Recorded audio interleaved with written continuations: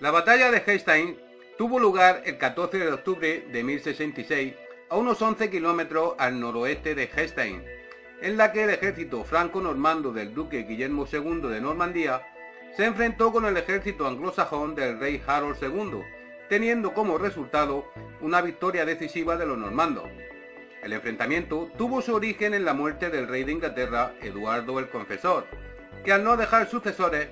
dio lugar a una pugna entre varios pretendientes al trono.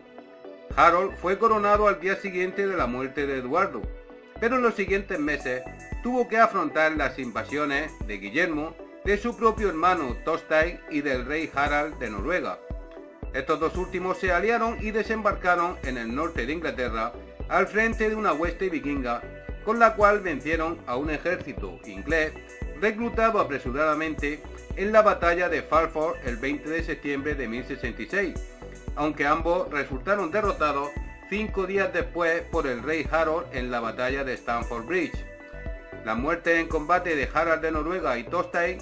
dejaron al rey inglés y al duque Guillermo como únicos contendientes por la corona.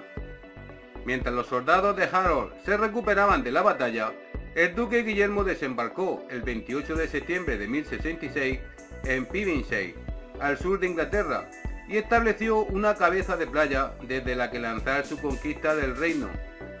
Harold se vio forzado a marchar veloz hacia el sur y tuvo que reclutar tropas por el camino.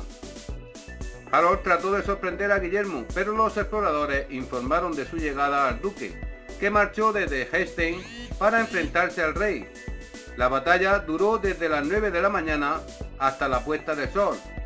La muerte de Harold se produjo hacia el final del día, provocando la retirada y derrota de la mayor parte de su ejército.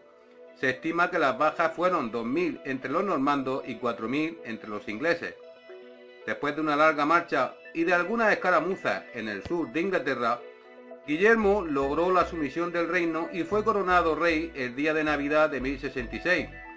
en los años siguientes hubo varias rebeliones y resistencia al gobierno del nuevo rey, pero el resultado del enfrentamiento en Hastings marcó la culminación de la conquista de Inglaterra por los normandos.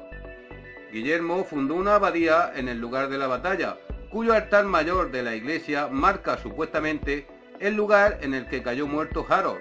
Inglaterra y el Ducado de Normandía estuvieron unidas políticamente durante gran parte de la Edad Media,